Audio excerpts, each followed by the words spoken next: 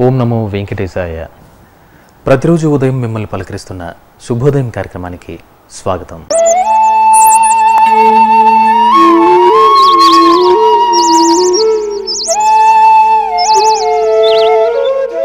మన సనాతన ధర్మంలో ఎన్నో మంచి విషయాలను ఆనాడే మన ఋషులు మనకు అందించారు. వాటిలో కొన్ని విషయాలను ఈనాటి ఋషివాక్యం ద్వారా తెలుసుకుందాం. శ్రీ వెంకటేశాయ శ్రీనివాసాయ గోవిందాయ నమో నమ. నమో మహద్భ్యో ఋషిభ్యో గురుభ్యో నమ. విధేయత అనేటువంటి అంశం గురించి మాట్లాడేటప్పుడు కొంతమంది ఒక సంస్థలో కానీ లేదా ఒక వ్యక్తితో కానీ అనుబంధం ఉన్నప్పుడు జీవితాంతం ఎట్టి పరిస్థితుల్లోనూ విడిచిపెట్టకుండా ఉంటారు. ఆ విధేయత చాలా ఉత్కృష్టమైన అంశమే. ఒక్కొక్కప్పుడు అలా ఉండడాన్ని గొప్ప గుణం కింద మనం శ్లాఘిస్తాం కూడా. ఒక సంస్థలో జీవితాంతం అతను అంటిపెట్టుకుని అందులో కష్టనష్టాలను భరిస్తూ ఉన్నాడు అంటే అతడి యొక్క ఆ సంస్థ పట్ల ఉన్న విధేయ భావం కానీ ఆ సంస్థతో అనుబంధం కానీ అభినందనీయం. కానీ అదే సమయంలో కొన్ని విషయాల్లో వాటితో తెంపుకోవలసిన పరిస్థితుల్లో కూడా తెంపుకోకుండా వాటితోనే ఉండడం ఉన్నదే అది గొప్ప గుణం అనిపించుకోదు. అందుకే ఒక్కొక్కప్పుడు స్థూలంగా ధర్మంలా కనిపించేది సూక్ష్మంగా ఆలోచిస్తే అధర్మం అవుతున్నది.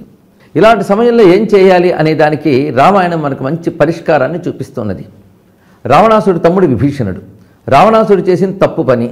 మొట్టమొదటి నుంచి రావణుడు స్వార్థ చింతనతో ధర్మాన్ని పక్కన పెట్టాడు.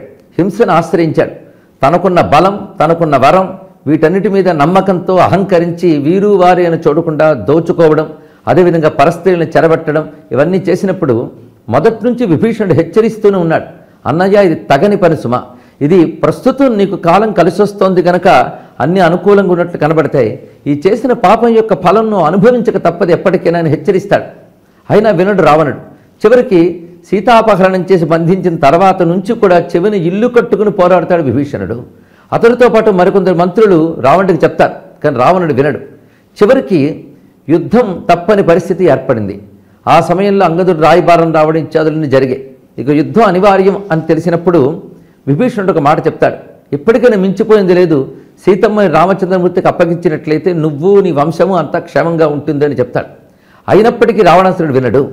అంతేకాదు నిండు సభలో రావణుడు కొడుకైనటువంటి ఇంద్రజిత్తు కూడా బాబాయిని అవమానిస్తాడు.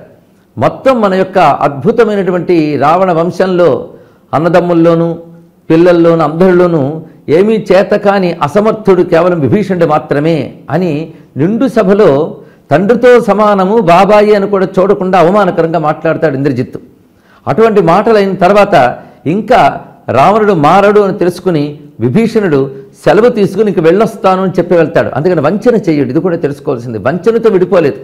ఇక్కడ గమనించవలసింది తాను విధేయుడే ఉన్నప్పటికీ కూడా అక్కడ వారు మారరు అధర్మపరులు అయ్యారు అని తెలుసుకుని వెంటనే విడిచిపెట్టాలి. అలా విడిచిపెట్టకుండా ఇదివరకు వారితో తంటిపెట్టం గనుక ఇప్పుడు అధర్మపరంగా మారిపోయినా కూడా వాళ్ళని అంటిపెట్టుకుంటాం వాళ్ళు చెప్పినట్టే వింటాం. అవసరమైతే వాళ్ళ చేతులు కీలు బొమ్మల్లా ఉంటాం అనుకున్న వాడికి నాయకత్వ లక్షణాలే లేవు. అటువంటి వాడు వాడు దెబ్బతినడమే కాకుండా దేశాన్ని కూడా దెబ్బతీస్తాడు. అందుకే అటువంటి దుష్టుల్ని అంటిపెట్టుకోకుండా ధర్మం వైపు వచ్చేయాలి అని విభీషణుడు చక్కగా చెప్పాడు. అందుకే ఎప్పుడు కూడాను అధర్మం ఉంటే దాన్ని అంటిపెట్టుకుని ఉండరాదు. ఇదివరకు పూర్వకాలం నుంచి ఉన్నాం గనక దాంతోనే ఉందా అనరాదు. ఇది కూడా గమనించవలసిన అంశం. ఆ విషయంలో భీష్మాదులు కూడా అధర్మపక్షమైనటువంటి ధృతరాష్ట్రుని వైపు ఉన్నారు. దాని ద్వారా వాళ్ళు దెబ్బతిన్నారు ఆ వంశాన్ని కాపాడలేకపోయారు కూడా. ఇది కూడా గమనించవలసిన అంశం.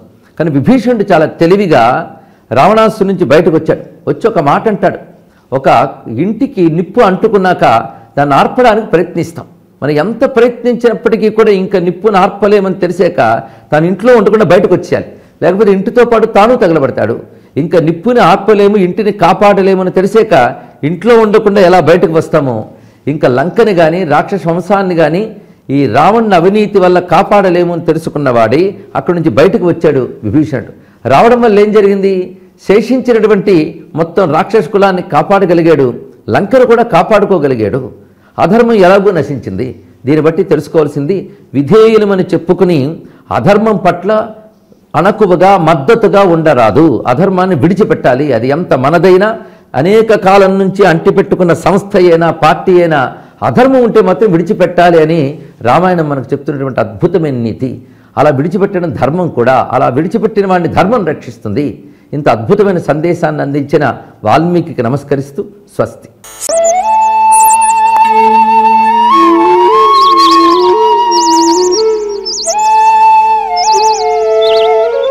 పవిత్రమైన జ్యేష్ఠ మాస విశిష్టతను ఈరోజు కొంత తెలుసుకుందాం.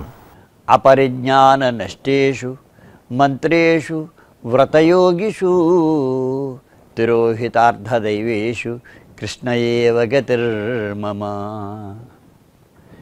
భారతదేశం అధ్యాత్మ దేశం ఇది అధ్యాత్మ సంపదకు అధ్యాత్మ జ్ఞానానికి కూడా పుట్టినిల్లు.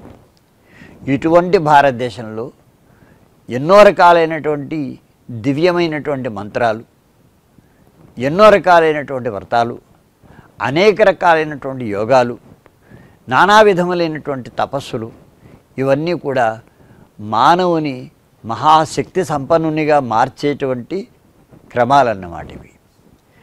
వీటన్నిటిలో కూడా మనకు కాలం యొక్క గమనంలో ఆధునికమైనటువంటి విలాసాలకు అలవాటు పడినటువంటి జనానీకం నెమ్మది నెమ్మదిగా ఈ మంత్ర సంపదని ఈ వ్రత సంపదని ఈ యోగాలను ఈ యాగాలను ఈ ధ్యాన విధులను వీటన్నిటిని కూడా విస్మరిస్తోంది.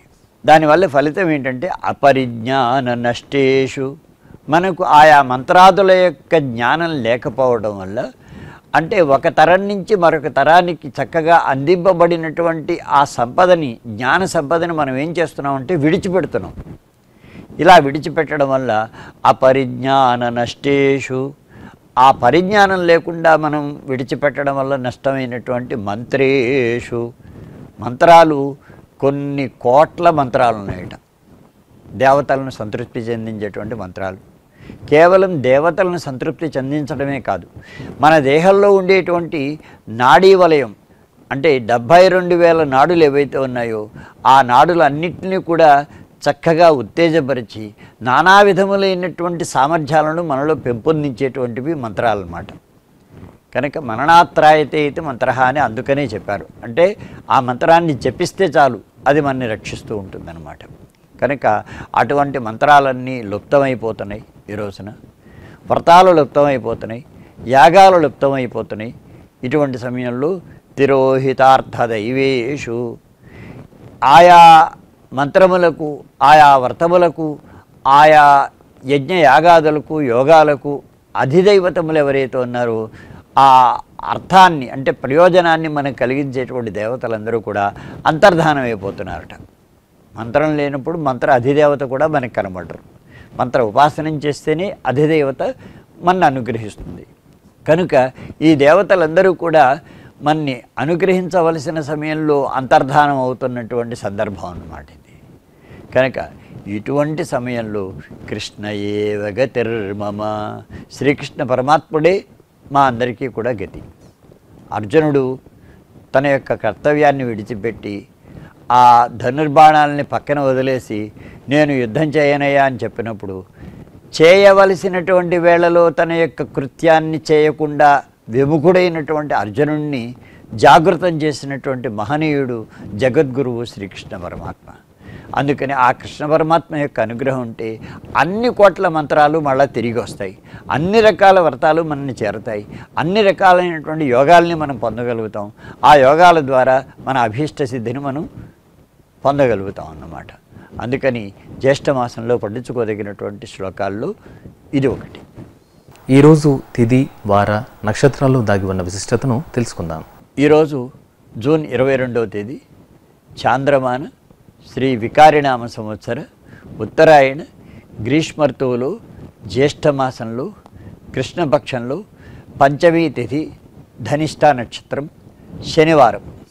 ఇక్కడ తిథి పంచమి కనుక అది శుక్ల పంచమి కావచ్చు లేదా బహుళ పంచమి కావచ్చు నాగదేవతోపాసనం అనేటువంటిది మనం భక్తి శ్రద్ధలతో చేయదగినటువంటి విషయం అన్నమాట.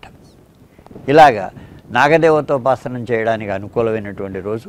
దానివల్ల మనకు రాహుకేతు దోషాలు కానీ నాగదోషాలు కానీ ఉన్నట్లయితే అవన్నీ తొలగి మనకు మంచి ఫలితాలు కలుగుతాయన్నమాట. ఇది ఒక విషయం.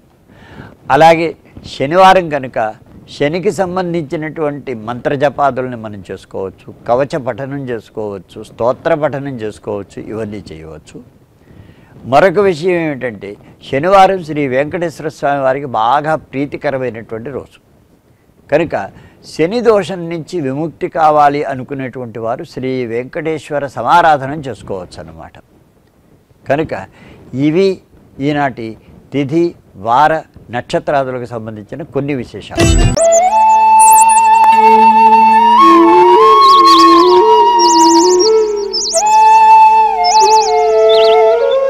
ఈనాటి శుభోదయం కార్యక్రమం అలరించిందని ఆశిస్తూ ఓం నమో వెంకటేశాయ.